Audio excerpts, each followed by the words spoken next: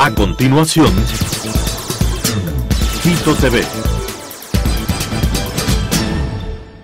Quito TV con el arquitecto David López en Telesucesos, Canal 29.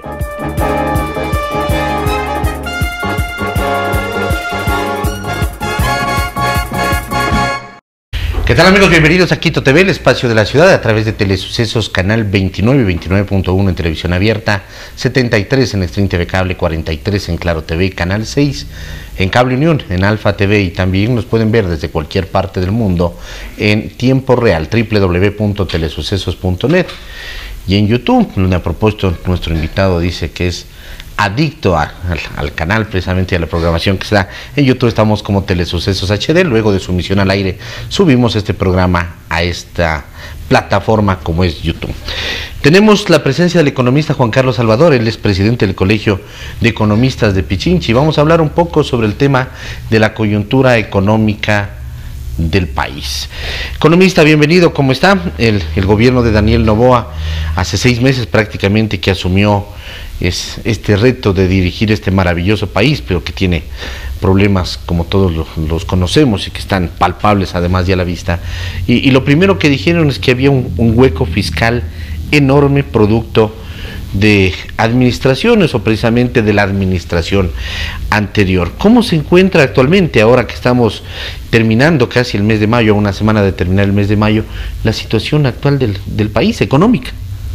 Bueno, muchas gracias por la invitación. Un saludo a todas y todos quienes nos ven en este prestigioso medio de comunicación. Y en efecto, David, somos de fieles seguidores de este canal y pues saludamos también todo el ejercicio periodístico que ustedes lo realizan. En este aspecto, pues el gobierno del presidente Daniel Novoa ha tenido varios eh, problemas estructurales que heredó. ¿A qué me refiero esto? Pues la situación fiscal lastimosamente viene empeorándose cada día más porque el tema político predomina por sobre lo técnico. Y la frase que ha caracterizado lastimosamente los últimos años al ejercicio de la política económica en Ecuador es pan por hoy, hambre para mañana. Y esto ah, se evidencia también en el resultado de la situación fiscal y obviamente situación económica. El año anterior, ¿cierto? Tuvimos al inicio eh, un superávit fiscal proyectado, ¿cierto? Sin embargo, terminamos con 5.7 mil millones de déficit fiscal.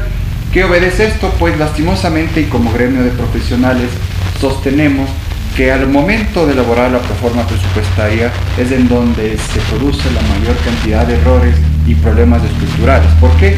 Porque se colocan ingresos sin fuente de financiamiento hacia los gastos. ¿A qué me refiero? Pues 1.200 millones de dólares, por ejemplo, de venta al Banco Pacífico el año anterior, que nunca entraron, fueron gastos que no tuvieron fuente de Se preveía una venta en ese caso del banco y no caja. Creo que era de conocimiento público que no se iba a materializar. Sin embargo, ese hueco tuvo que cubrirse. ¿Qué significa esto? Pues al finalizar un año se necesitan más recursos, más endeudamiento, más ajuste y vamos a estar pensando después de dos o tres años en subir las, las tasas impositivas. ¿Qué sostenemos como gremio de profesionales? Pues a problemas estructurales, soluciones estructurales. Fortalecer los ingresos permanentes, no solo subiendo las tasas, que lastimosamente no son, no son un todo, sino son parte de un ejercicio de política económica que necesita el país. La situación es, es, grave mm, por estos temas que usted dice nacen dentro de lo que es el presupuesto general del Estado, el rato que se arma la, la proforma presupuestaria. Y se suma eso al endeudamiento histórico que tiene el país, pero también al nuevo endeudamiento, pues resulta que venimos solicitando créditos, pero esos créditos nos sirven para pagar los créditos anteriores. Y, más grave todavía, ni siquiera para poder pagar esos créditos, o sea, sirve para pagar en algo. Estamos como cuando en la, en, la familia, ¿no? Estamos en un endeudamiento constante en los bancos y mientras no reducimos gastos, simplemente esto es una bola de nieve que nos termina arrasando. Sí, el, el, problema es las condiciones bajo el cual un país adquiere endeudamiento. Las condiciones, por ejemplo, me refiero a plazos y tasas de interés. Obviamente son condiciones eh, no pertinentes para el país si nos endeudamos cada vez a mayores tasas y a menores plazos. Necesariamente vamos a tener que renegociar la deuda. Y en este aspecto, pues según la proforma presupuestaria para este año, aprobada ya vigente, se espera tener unas necesidades de financiamiento de 11 mil millones de dólares, de los cuales 4.8 mil millones es de déficit fiscal, es decir, gastamos 4.8 millones más que los ingresos que percibimos. ¿Qué significa esto? Pues adquirir nueva deuda y obviamente, lastimosamente, eh, aquí viene el tema de los atrasos, ¿no es cierto? el gobierno se atrasa obviamente porque no tiene liquidez con proveedores, con los gas, con seguridad social y sobre todo se condiciona la cadena de pagos. ¿Qué pasa, no es cierto, con el lado de los gastos? Lastimosamente, a pretexto de la austeridad fiscal, eh, se ha realizado en el país un ejercicio de machete sin hacer una correcta evaluación. Podemos caer en, eh, lastimosamente, en este tema de llevar a cero la economía, pero tener un, un déficit fiscal cero. Y no se trata de eso, se trata de fortalecer el crecimiento económico y a la par no caer en errores del pasado en términos de austeridad fiscal. ¿A qué me refiero, mi estimado David? Antes se liquidaron empresas públicas. Se crearon después de dos años las mismas empresas públicas con diferente nombre y con los mismos problemas. Y cuando liquidamos fue un gasto fuertísimo. Pues, Exacto, se contrataba liquidadores, se fortaleció un poco la nómina. empleados líquidos. Exacto, entonces el tema es no caer en errores del pasado a pretexto de la austeridad. Fusión de eh, instituciones, ministerios, lastimosamente condicionaron el ejercicio de provisión de bienes y servicios hacia, la ciudadanía y pues terminó eh, presentándose un estado ineficiente. ¿A qué me refiero? Pues lastimosamente la política condiciona este tema y ya no nos podemos financiar eh, este tema de necesidad de financiamiento con atrasos a los proveedores. ¿Qué pasa aquí? Y como gremio de profesionales sostenemos fortalecer los ingresos permanentes y hacer una correcta evaluación del gasto público, sin caer en temas políticos de extremos ni visiones de hace 20 o 30 años de economistas que lastimosamente nos dan las mismas recetas de hace 30 años, pero descuidan o no observan que la economía es una ciencia que ha tenido constante investigación, bastante evidencia, y tenemos todo tipo de insumos que nos van a permitir, obviamente, hacer una recomendación objetiva sobre en dónde hacer una correcta, eh, correcta eh, ajuste, por así decirlo, en gasto público.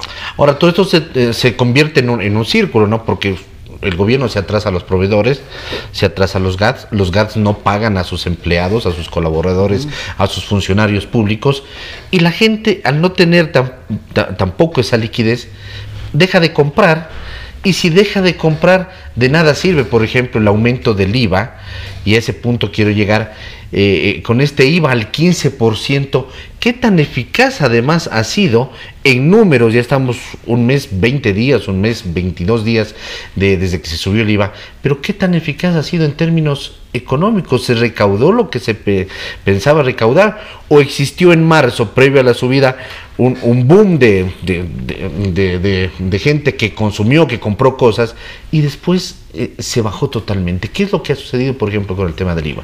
Bueno, es una pregunta muy interesante porque como gremio de profesionales nos basamos en la evidencia. Y en este aspecto, pues a través de nuestro centro de investigaciones realizamos una estimación respecto a cuánto se recaudaría entre abril y diciembre adicional por IVA.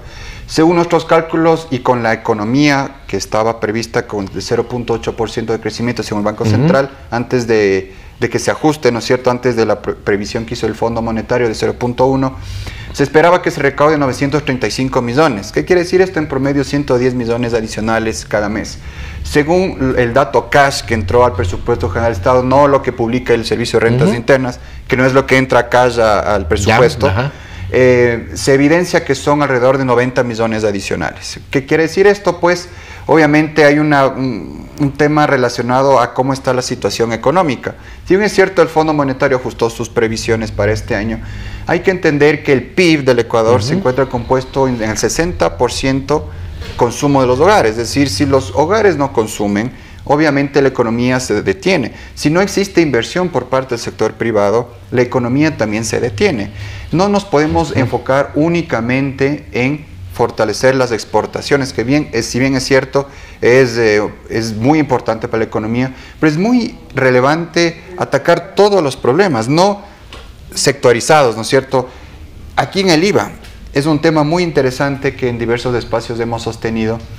Somos los subcampeones en evasión de IVA, según el BID. En 2019 alcanzamos 3.8 mil millones de dólares de evasión de IVA. No basta con subir la tasa. El Salvador lo comprendió, el país. Basta con cobrar mejor los impuestos. Una mejor, eh, digamos eso, un mejor cobro, ¿no? O sea, ser más eficaz en el tema del cobro del IVA. Ahora, eh, economista, la crisis económica es, no voy a decir gracioso porque esa palabra no corresponde, la crisis económica lleva mucho al tema de la inseguridad, ¿no? Y a raíz de la inseguridad surge este tema del, del impuesto de los tres puntos de subida al IVA. Eh, es, como que deberíamos de atacar más vale el tema de mejorar las condiciones para que no caer en temas de, inseguridad. O sea, ir, ir, al inicio, no ir al correctivo, que tampoco tiene un poco de sentido. Sí, bueno, la inseguridad es un problema multicausal y multidimensional. Si bien es cierto, parte de una pobreza intergeneracional que se lo conoce, es decir, un abandono, de, por ejemplo, de inversión pública, y, o sea, y aquí quiero que se me entienda y no se malinterprete. La inversión pública tiene que ser focalizada hacia las personas que más lo necesitan. No enfocarnos por incrementar el presupuesto porque sí. Aquí es muy importante evidenciar la calidad del gasto público, en dónde estamos invirtiendo. Y lastimosamente el plan anual de inversiones eh, cada vez es menor. De hecho, para este año es el menor desde que hay información, obra pública también. Se requiere, y justo estamos haciendo un ejercicio muy interesante en el Colegio de Economistas de Pichincha, respecto a cuánto le cuesta al Estado, cuánto necesitaría invertir para que se universalicen los derechos fundamentales. Por ejemplo, hacinamiento, ya no tener hacinamiento, no tener pobreza extrema por ingresos, no tener eh, inasistencia a educación, por ejemplo, eh, sin saneamiento de excreta, servicio de red eh, agua por red pública, y es alrededor de más de 10 mil millones de dólares. Ahí tiene que ir la inversión pública. La inversión pública, esto que yo mencioné son indicadores de lo que se conoce como la pobreza multidimensional, que es la estructural, y lastimosamente, según el INEC en el año 2023, pues cada vez se crece más en eh, pobreza multidimensional en el sector rural. Es decir, es un abandono de 7 de cada 10 personas que están en el sector rural son pobres multidimensionales. No ir a bonos. Los bonos eh, son transferencias monetarias que está aprobado eh, más que suficiente que reducen la pobreza. Pero obviamente no tiene que ser entendida como el fin, sino es un medio a través del cual la familia pobre o persona pobre puede salir de la pobreza. O un plus, ¿no? Darles oportunidades, a mucha gente la mejor, en el área rural. La mejor política económica, social que existe es la generación de empleo. Obviamente que tiene que ir acompañada de condiciones, de créditos, de reactivación económica, pero no hay que descuidar también el ejercicio de las transferencias monetarias, que es muy importante y está más que comprobado a nivel internacional, incluso a nivel de Ecuador, que sí sirven. Obviamente que puede ser ajustado en ciertos temas, pero no tenemos que caer en extremos que lastimosamente nos han llevado a refundar el país cada cuatro años. Eso es, eso, es lo grave, ¿no? No existe un plan tampoco ni a mediano ni a largo plazo en el país, sino que lo estamos refundando constantemente. Eh, en los últimos días se ha hablado de que el riesgo país, que venía con tendencia a la baja, ha vuelto a subir. No mucho, pero ha vuelto a subir. Esto corresponde a determinada no sé si poderlo decir, actitud, determinada resolución. ¿Hay, algún hecho que marcó esta subida del riesgo país o esto por lo general sucede con todos los países del mundo, estos valores que pueden ir un poco hacia arriba, un poco hacia abajo? Bueno, el riesgo país es el indicador, el índice que mide, ¿no es cierto?, la capacidad que tiene un gobierno para honrar sus obligaciones a mediano o largo plazo. ¿Cierto? Si sube el precio de barril de petróleo, pues se espera que se tendría más ingresos petroleros y obviamente más recursos para honrar sus obligaciones. en efecto. Entonces, hay una relación positiva entre estas dos variables. Y aquí quiero puntualizar un tema que lastimosamente el ingreso petrolero el año anterior se cumplió el 55% de su programación. Es decir, si yo tengo programado ganar 100 dólares mensuales, terminé recaudando 55, 55 eh, dólares. Volvemos a la proforma presupuestaria. La diferencia, exacto. La diferencia es que ese, ese monto tiene que ser ajustado con más endeudamiento, manejo de liquidez o atrasos. Entonces, parte de una caída en el, en, en el, volumen de producción petrolera. ¿Y qué es lo que se pone en la proforma? Entonces, si subestimamos en la proforma el volumen de producción petrolera... Y el precio lo subestimamos. Y el precio lo sobreestimamos, al finalizar un año vamos a tener un déficit fiscal del año anterior de más de 5.7 mil millones. Claro, ya hablamos, hicimos, está, está cubierta la proforma presupuestaria, tenemos financiada para este año. Y resulta que no es así. Exacto, el problema son los supuestos. Entonces, en este aspecto, pues el riesgo país también se encuentra condicionado no solo por el precio de barril de petróleo, sino también por ciertos indicios de estabilidad política, estabilidad macroeconómica y sobre todo señales que se da de consistencia al ejercicio de la política pública. Los mercados internacionales evidenciaron que el acuerdo con el Fondo Monetario Internacional de cierta forma va a dar certezas al eh, gobierno nacional para por lo menos honrar sus obligaciones con el Fondo Monetario conforme se, mencionó en, redes sociales, en, diversos medios de comunicación. Pero hay que entender que no todos estos 4 mil millones van a llegar el día de mañana, sino es hasta 2027 y va a venir de acuerdo a metas que se vayan cumpliendo. Y en este aspecto, pues, la Revolución de Riesgo País marca aquí un hito respecto a qué pasó con el tema diplomático con México.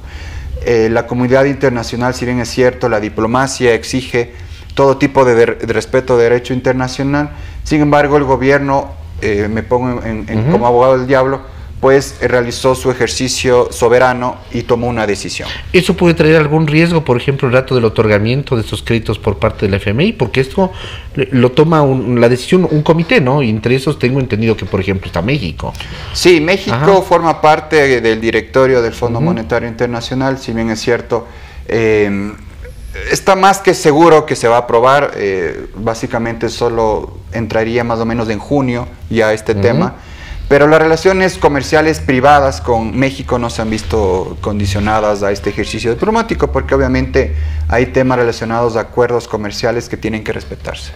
Estoy leyendo aquí del portal Primicias y dice que uno de los elementos que puede causar también este aumento en el riesgo país es la reunión que tuvo el presidente Novoa en esta última gira con la SARC, la asesora global especializada en deuda externa, ya que eh, eh, si se reúne con ellos es como que está tratando de renegociar la deuda externa y de pronto el FMI y las otras entidades financieras internacionales dicen, ah, parece que no tiene los fondos necesarios y está buscando un tema de renegociación. ¿Eso también causa algún tipo de, nerviosismo? Bueno, lo... Puede ser uno de los factores, ¿no? Eh, puede entenderse sí y no, porque el ejercicio de la política fiscal, ¿a, qué me refiero? Es la combinación de ingresos y gastos y endeudamiento. El gobierno nacional ya ha mencionado que está en camino una focalización en los subsidios, esto es un avance importante, pero también hay que enfocarse, y voy a topar más adelante el tema del gasto tributario, que son exoneraciones y exenciones, que deja percibir el gobierno nacional por concepto de, de este tema. Em, lo que usted menciona, mi estimado David, tiene que ver con eh, la renegociación, alivio de cara a los tramos de los cuatro años que se viene. lastimosamente tenemos ya una mayor presión de liquidez por temas de amortización y capital y que requiere que se implementen más medidas y otro tipo de instrumentos. Y otro tipo de instrumentos es renegociar la deuda. Aquí es muy importante mencionar que nuestro principal acreedor, antes de que se materialice lo del fondo, es el BIES, de toda la deuda.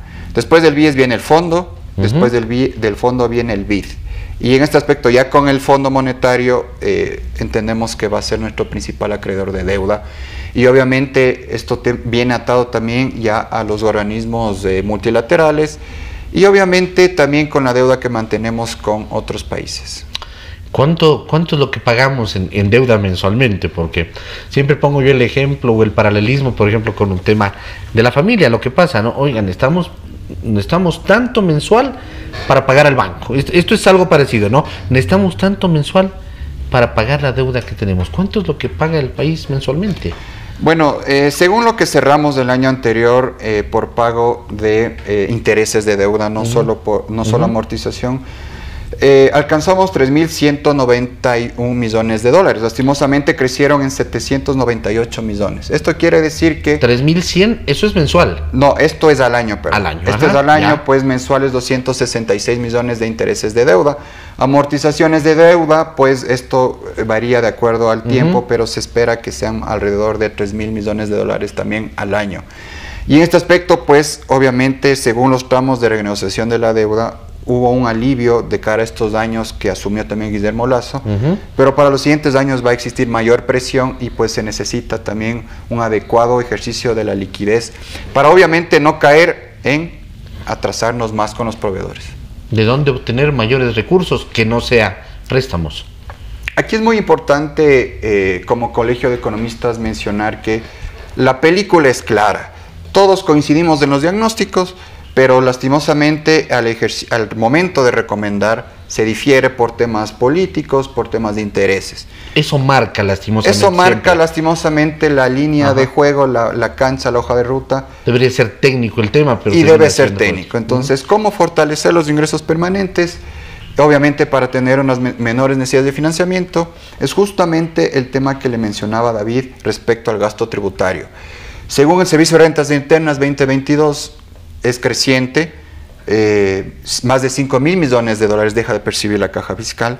Y aquí es muy claro el ejercicio que hace la CEPAL y nosotros hemos hecho un seguimiento adecuado a este manual de gasto tributario que se los da técnicamente. Hay que evaluar la pertinencia de mantener ciertas exoneraciones y exenciones, porque si damos dádivas, es decir, un subsidio eh, al dedo, significa que no vamos a tener más ingresos para cubrir los gastos permanentes, ¿no es cierto? Pero si yo no controlo también el gasto, significa que la medida no es eficaz. ¿Qué pasa con el IVA? Igual, ¿no es cierto? Estos ingresos adicionales pues van a servir para pagar todo tipo de atrasos, pero si no controlamos, si no evaluamos bien el gasto público, va a ser un dinero que va a un costal con hueco. El punto, ¿no es cierto? Cobrar mejor en gastos tributarios, ¿no es cierto? Impuesto a la renta IVA. Hay un universo interesante de 900 millones de dólares que es ingreso permanente, cash, que puede ingresar. A esto hay que sumarle el tema de evasión. Como lo mencioné, 3.8 mil millones de dólares de evasión de IVA. Hay una brecha tributaria y recaudación de impuesto a la renta de personas naturales, según el Servicio de Rentas Internas, en un estudio que realizaron con el Fondo Monetario, estiman 1.100 millones de dólares.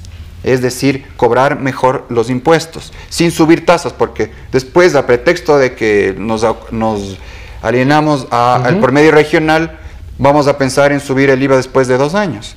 Cuando hay temas que se pueden solucionar hoy para que en dos años o en tres años no tengamos que estar literalmente raspando la hoja o pidiendo todo tipo de clase de préstamos a nivel internacional. El retiro de los subsidios es necesario.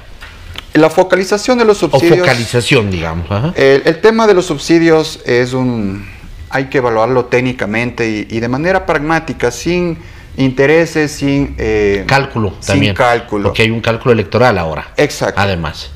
Aquí es muy importante evidenciar que según la proforma, obviamente el subsidio se estima es más de 3 mil millones de dólares.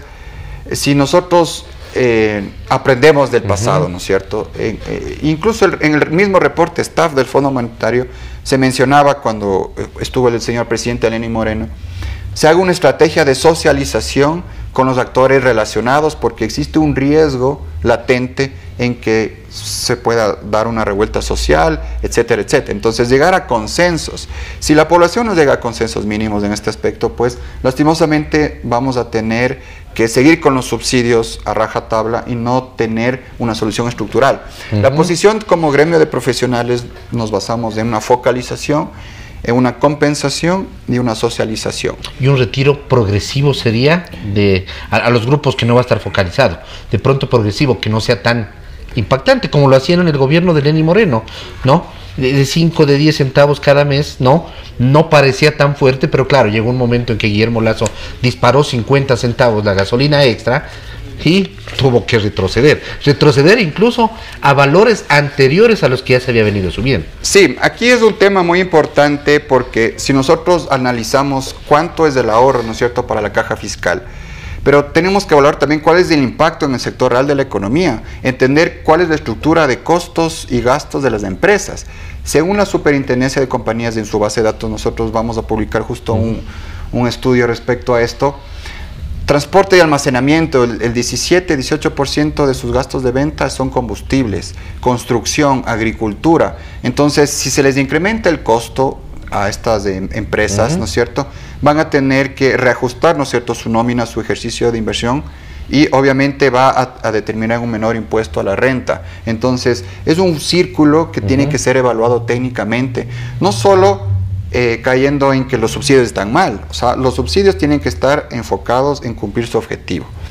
Hay otros países que tienen subsidios agrícolas, hay otros, otros países que mantienen otros subsidios enfocados a sectores estratégicos y pues el país a pretexto de sincerar la economía, pues lastimosamente no podemos caer en un error de eh, dar un shock hacia la economía que incide no solo en los precios, sino también en la capacidad de las empresas para invertir y generar empleo. Economista, queremos agradecerles, se nos acabó el tiempo, pero le volveremos a invitar, ¿no? Eh, porque el tema, tema económico primero hay que, es, es apasionante también conocer un poco de este tema, irnos informando de a poco, usted lo ha hecho de una manera didáctica y eso creo que es importante para nosotros como medio de comunicación y sobre todo para la gente que nos ve a través de la pantalla de Telesucesos en este caso, muy gentil. Muchas gracias por la invitación David, pues un saludo a todas y todos. Muy gentil. El economista Juan Carlos Salvador, presidente del Colegio de Economistas de Pichincha, ha estado haciendo una evaluación sobre la coyuntura económica actual, qué es lo que viene sucediendo, qué es lo que se debería de dar y algo que, nos deja de resumen además de entrevista, siempre hay que ir hacia el tema técnico. Lastimosamente, una de las falencias que tiene nuestro país es siempre el cálculo político que existe o el, lo político sobre lo técnico. Eso es como cuando dicen el corazón lo ponemos por encima de lo que nos dice el cerebro. Algo así por ahí. Así es. ¿No? Amigos, que pasen bien hasta la próxima. Felicidades. Las opiniones vertidas en este espacio por la producción y dirección del programa son de exclusiva responsabilidad de sus autores y de quienes intervienen en ellos.